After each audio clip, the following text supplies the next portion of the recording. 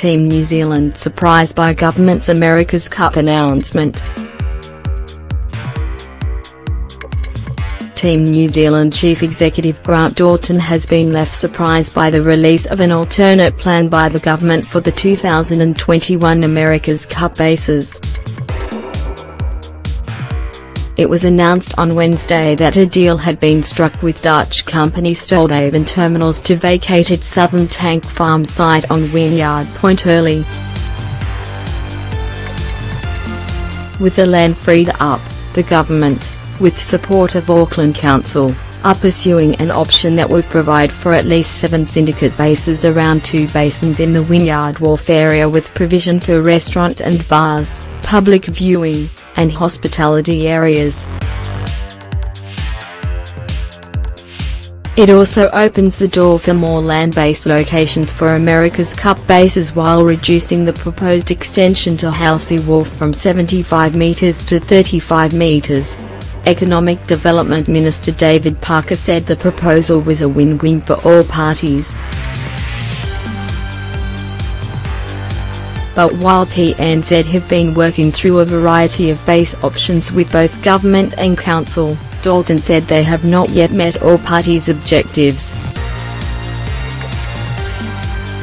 We are surprised with the release of the government plan at this point as from our perspective we are still working together towards a final agreement, Dalton said in a statement. In a meeting on Tuesday with government, council officials, engineers and architects, TNZ said they presented a plan that delivers a contained and vibrant event village environment on the Halsey and Hobson wharfs, without the necessity of building on Wynyard Point, for significantly less cost than what the government has come out with. Dalton added that their option has the ability to save tens of millions of dollars.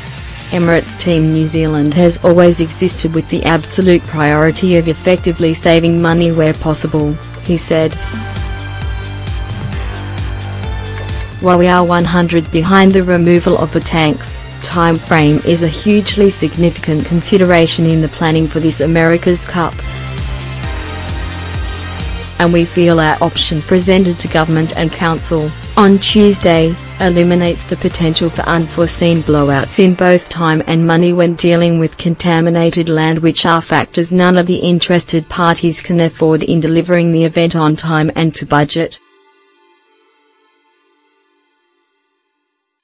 The plan presented by Team New Zealand includes the 75 metres Halsey extension, which is already in the process for resource consent. It has the ability to house up to seven teams on the Halsey and Hobson wharfs all within the confines of the existing neighbouring wharfs.